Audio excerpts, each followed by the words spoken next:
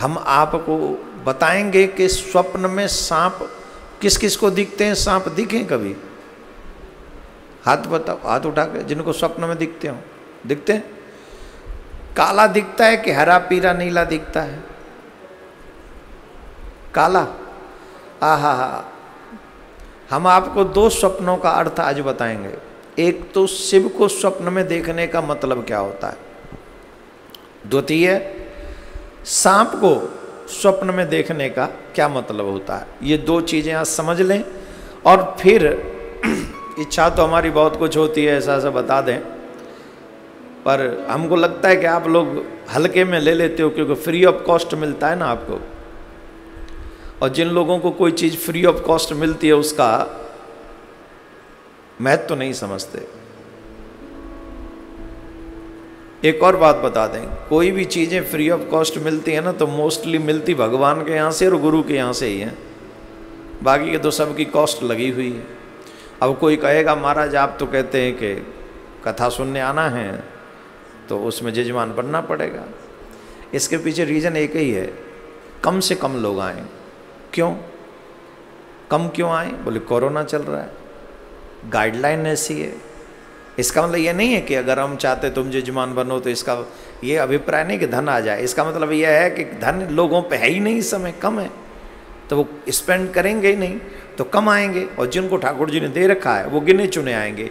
और एक संख्या लिमिट होने पर जो हमने सोची हुई है, उसके बाद बंद कर देंगे।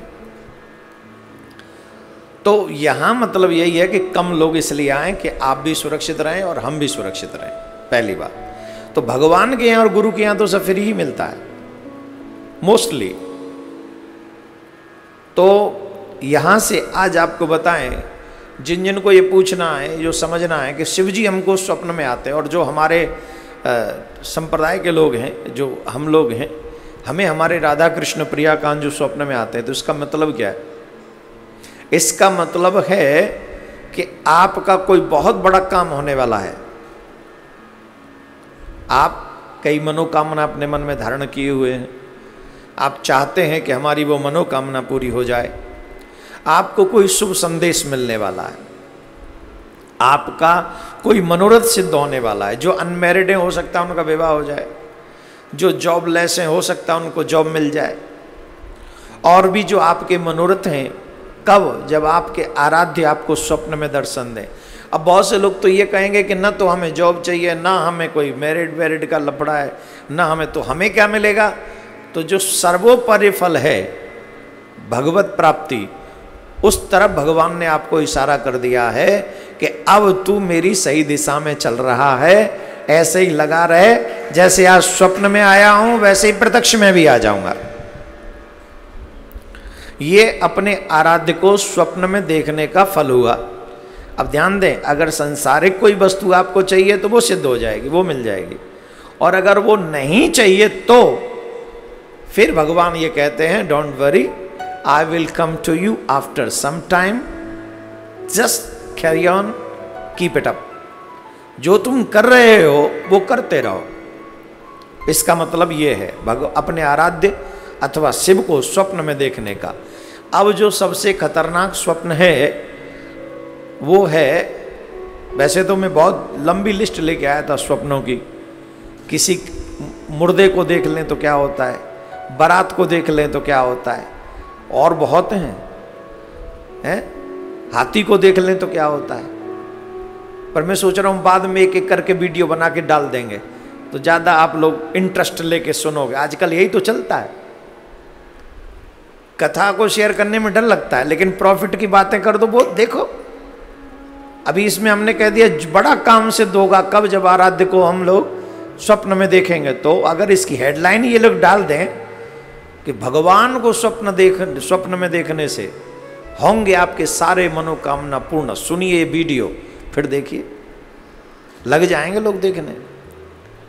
मतलब की बात देखते हैं। अब कथा तो तीन घंटे की है, कौन सुने? दूसरा सबसे अहम प्रश्न है, बहुत सुंदर। स्वप्न में अगर सांप दिखे तो क्या करें? यहाँ सांप दो प्रकार के स्वप्नों का वर्णन है। एक काला सांप दिखे। काला सांप अगर आपको दिखता है तो इसका मतलब है कि आपका मान सम्मान बढ़ेगा। अगर काला सांप दिखे, काला सांप दिखे तो आपका मान सम्मान बढ़ेगा, आपका धन बढ़ेगा। जो कार्य आप करेंगे, वो सम्मानीय हो जाएगा और जगह जगह पर आप, सामाजिक स्तर पर पारिवारिक स्तर पर आपका सम्मान बढ़ जाएगा।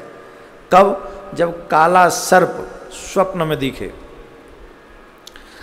लेकिन वही सर्प अगर आपको खाने के लिए दौड़ता हुआ दिखे, या क्रोधित दिखे, या फुंकार मारता हुआ दिखे और अन्य कलर का दिखे तो वो शुभ नहीं है।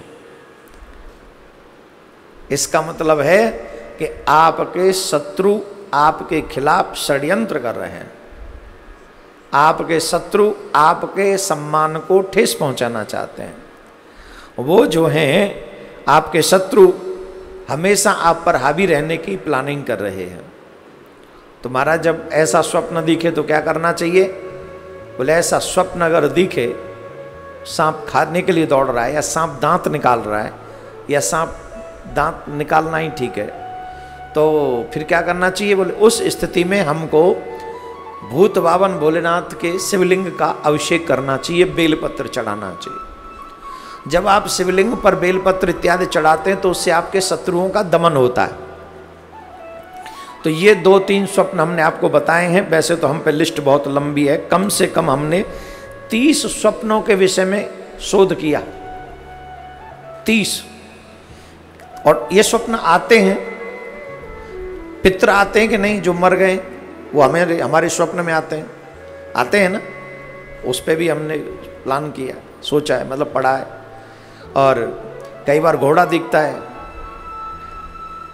स्वप्न में दौड़ता हुआ, कई बार हाथी दिखता है, कई बार कुत्ते इत्यादि दिखते हैं। इन सब स्वप्न का एक अलग ही संसार है। स्वप्न के लिए तो ये कह सकते हैं ना, सोते चैन ना जगते चैन।